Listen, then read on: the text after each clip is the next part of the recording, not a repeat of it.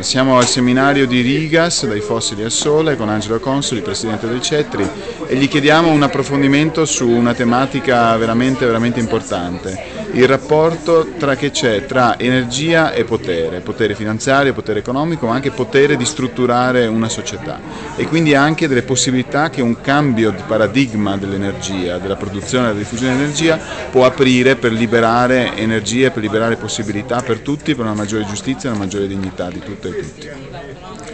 La seconda rivoluzione industriale sviluppato, eh, si è sviluppata sulle fonti energetiche concentrate, il carbone prima, poi il petrolio, il gas naturale e l'uranio. Queste fonti energetiche concentrate per essere sfruttate in modo ottimale eh, presuppongono l'impiego di eh, capitali molto intensivamente e quindi sono il, il, giardino fertile, il giardino di coltura tipico del, del, del, dell'economia finanziaria, soltanto chi dispone di ingenti eh, quantità di, di, capitali finanziari può andare a estrarre il petrolio, impegnarsi in eh, infrastrutture mondiali come gli oleodotti, le raffinerie e così via per cui eh, lo sfruttamento delle fonti fossili e fissili, quelle concentrate, ha determinato non soltanto tutta l'entropia chimica che conosciamo, l'inquinamento, il cambiamento climatico, ma anche una forte entropia sociale perché ha concentrato le fonti fossili concentrate dell'energia hanno determinato una concentrazione anche della ricchezza. Questa concentrazione della ricchezza evidentemente i gruppi di potere eh, finanziari e i gruppi monopolistici dell'energia la difendono a spada tratta perché il loro business model sono abituati a fare soldi soltanto così. Però con il sole che fornisce 15.000 volte più dell'energia che noi consumiamo, quindi infinitamente di più dell'energia delle fonti fossili concentrate, oggi è possibile sviluppare una nuova economia un'economia nella quale eh, il, i, i, profitti, i redditi del, del, dell'energia si redistribuiscono su una molteplicità molto più ampia di attori.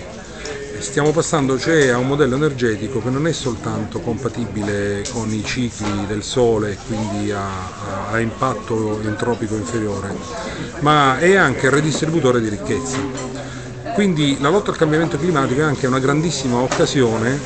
per eh, creare le condizioni anche per una nuova socialità eh, nella quale la, la ricchezza sia redistribuita e ci sia una maggiore giustizia sociale. Questo presuppone naturalmente una redistribuzione della ricchezza perché le, le, grandi rivoluzioni non avvengono mai a costo zero, c'è sempre qualcuno che ci perde. È chiaro che i grandi potentati dell'energia qualcosa dovranno cedere, i grandi monopoli dell'energia qualcosa dovranno cedere. In Arabia Saudita, così come in Libia, così come in, in, in Qatar, eh, eccetera, non mi immagino che le cose continuino eh, eh, nello stesso modo se si cambia ciclo energetico e anzi c'è una forte interrelazione relazione fra energia e democrazia, così, perché come dicevo le fonti energetiche fossili e concentrate hanno, presuppongono regimi forti, dittatoriali per poter essere sfruttate a meglio, se eh, un, uno Stato basato su queste fonti o che dispone di queste fonti energetiche non cambia cicli energetici, non passa dal ciclo del carbonio al ciclo del sole, prima o poi la casta dominante di quello Stato riprodurrà eh, un regime dittatoriale è inevitabile, è il, diciamo, la sindrome di Masaniello che si applica a livello planetario, per cui noi avremo o in Tunisia, in, in Egitto, e in tutti gli altri paesi nei quali gradualmente le rivoluzioni arabe prenderanno il potere si cambiano anche i cicli energetici, il modello energetico, oppure noi ritorne, questi paesi ritorneranno fatalmente verso una dittatura, mentre invece se si cambia il ciclo energetico si va verso i cicli del sole, si entrerà gradualmente nell'ordine di idee che l'energia appartiene a tutti, la ricchezza appartiene a tutti, deve essere redistribuita e anche il potere deve essere redistribuito. Quindi il rapporto che c'è fra energia e democrazia è, è chiarissimo, le fonti energetiche fossili concentrate creano eh,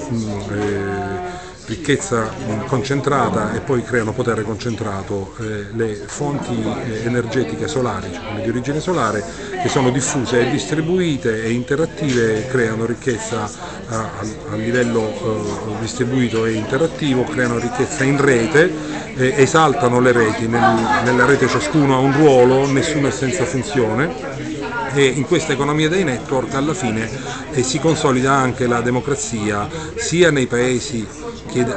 verso un maggiore grado di democrazia hanno bisogno di ritornare come per esempio l'Italia sia nei paesi di nuova democrazia nei, come quelli nei, nei quali si sono affermate le rivoluzioni arabe. Grazie Angelo.